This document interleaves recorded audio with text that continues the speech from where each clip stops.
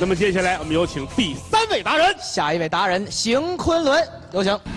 大家好，我叫邢昆仑，来自河北。当年呢，我以一个农民的身份来挑战主持人，追逐一个主持人的梦想，而且并成功的实现了它。今天我将进行我的第二个挑战，我也来说相声，而且呢是跟德云社的弟子来一起 PK 相声。在这里呢，我想跟德云弟子呢说四个字，那就是手下留情，手下留情，手下留情，手下留情啊！东西南北中。我们来当兵，记得呢，还是在我当兵的时候，在我们宿舍，然后呢，都是来自五湖四海的战友。记得有一次，有一个四川战友就冲我在那喊：“小心，你把我的孩子踩倒了！”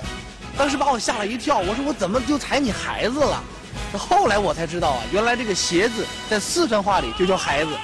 哎，我就发现这个方言特别的有意思。从那之后啊，我开始试着跟他们战友们学习各地的方言。那么一会儿呢，我要演的节目呢，就是一个关于方言的相声。好，各位学员老师，各位亲爱的观众朋友们，大家好，我叫邢昆仑。接下来呢，我将为你演一段相声。其实我的专业是做主持人的，相声呢是业余爱好。尤其今儿啊，要跟德云社的来 PK 相声，这简直就是班门弄斧。所以今天我的目的不是 PK，目的只有七个字，那就是学习、交流、长见识。而且今天呢，最让我开心的是见到了郭老师，也见到了石富宽老师，我特别的开心，特别的激动。所以不管演的好还是不好，都希望你们给我点支持和鼓励，好吗？以前有一个相声叫《报菜名》，里面呢提到一个地方叫深州蜜桃，那就我的老家，河北衡水深州。我们家呢就是农村种桃的。可是桃那么好，当年家里比较穷啊，那桃也卖不出去。据我妈说，家里当年穷到什么情况，穷到什么地步？说那老鼠到我家转一圈，都是含着眼泪出来。但是后来好了，改革开放了，我们家桃呢也迈向了全国。这不去年吗？过这个蜜桃节的时候，全国的客商都在我们这儿去买这个桃啊。这买来买去，买来买去，你猜怎么着？就剩了我们家两箱桃，大家伙围着都想要啊。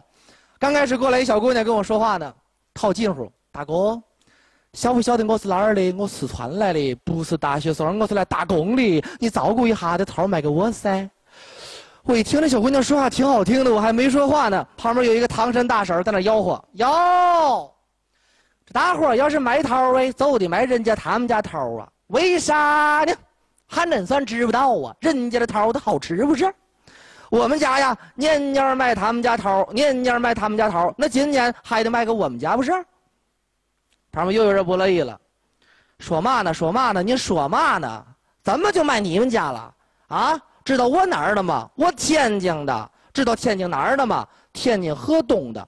知道我家三十年后住哪儿吗？不知道。古人都知道啊。三十年河东，三十年河西呀。去年卖你们家，今年就该卖我们家了。我这怎么着？我为难了。到最后，您猜怎么着？我旁边一个保定小伙出来替我解围了。干什么呀？干什么呀？干什么呀？我跟你说，我在这个地界我都看了半天了。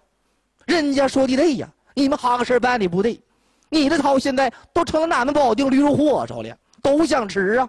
那你们不能光说，你们得听人家卖桃的说句话，对呗？大家说让我说话，那我就说吧。我说乡亲们、朋友们，要让我说我这个桃啊，我不卖了。为什么不卖呢？我要送给大家。